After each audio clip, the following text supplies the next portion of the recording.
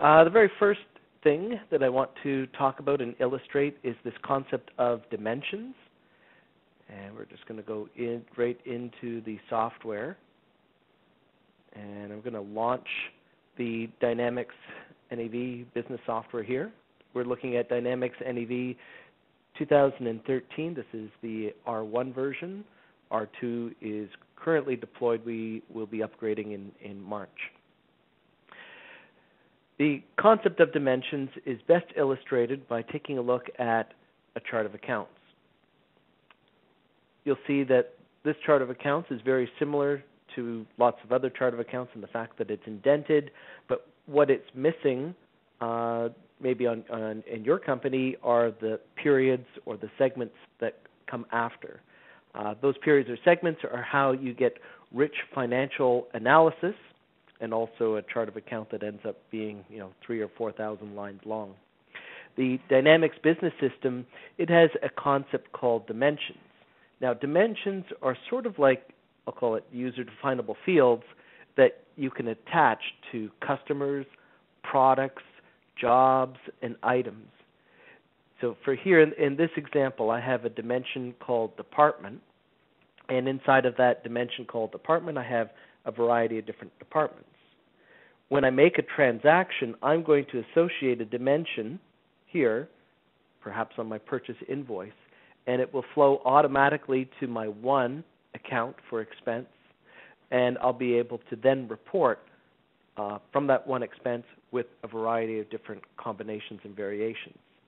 The number of dimensions that you have is, is technically unlimited, and once again, it is set up on all of the master records that flow then to child records. Typically, when we implement a business system like Microsoft Dynamics, we'll take a look at your existing chart of accounts and we can potentially eliminate. So, here on the Cannon Group, which is a customer, I'm going to go here and take a look at the dimensions that I have associated.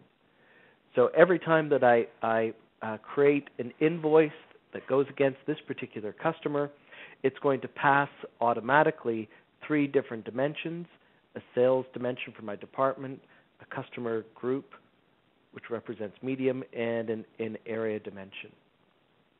This gives you uh, the ability to create a series of different financial reports primarily. Uh, the easiest way to illustrate this, I'm just going to go into one of our technologies called business intelligence.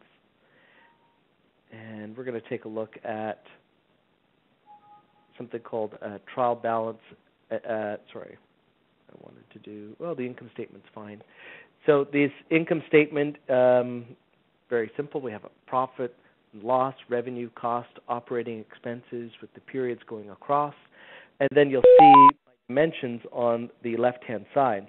So, the level of detail that you put into the dimensions allows you to do a quick analysis. So, what's happening in this particular product line or company or division? And you'll see that as I begin to uh, click on what are called slicers in Excel 2010, the information around my profit and loss is automatically changing, filtering essentially as I go through.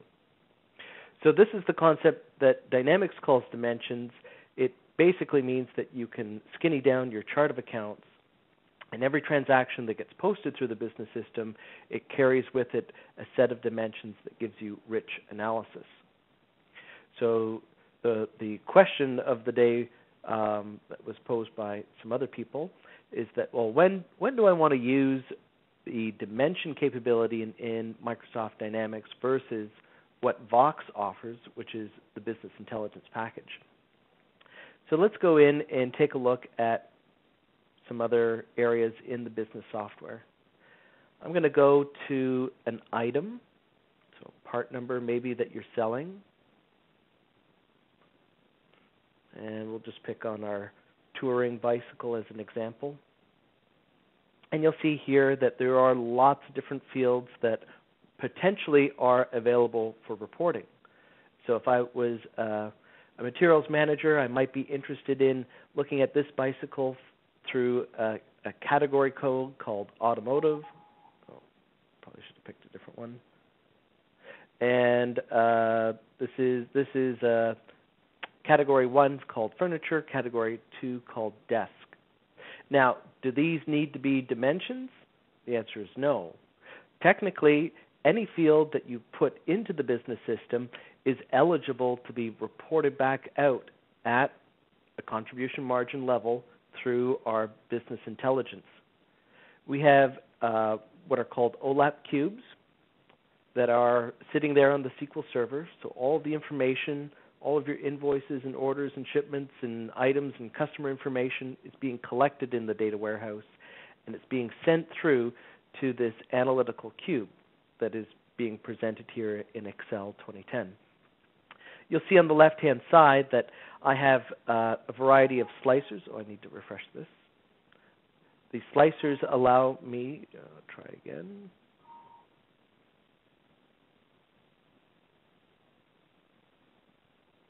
The slicers allow me to do quick analysis. I'm going to go to a different one right now.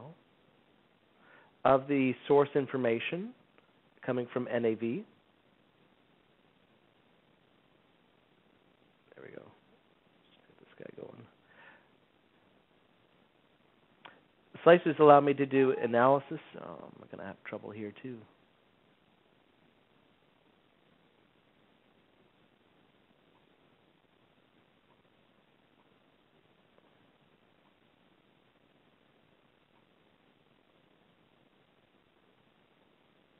There we go. Again. There we go. So when I start clicking on uh, these variables, you'll see that the graphs start to change automatically. These are pivot tables from the OLAP cube that are sending information out into Excel. This gives me the capability of clicking on maybe one company, so what's happening in one company, what's happening with one type of project, maybe by year or by office, and then if I see a strange number, like what is happening with that $52, I can double click and it's going to take me down to the source level transactions. This is the capability of the business intelligence components. But more importantly, all of the fields and variables that you have within the database are eligible to be analyzed through the slicers. So slicers are dimensions inside of the business intelligence cube that go actually beyond the dimension capability from a pure financial perspective. Technically, any record in the business system is now eligible to be reported back out. And so as I go through the different tabs at the bottom, I'm going to see reports like customer contribution or territory analysis, business unit analysis, geographic analysis, profitability, top and bottom. I'll just give you an illustration here of what you can do with the OLAP cube.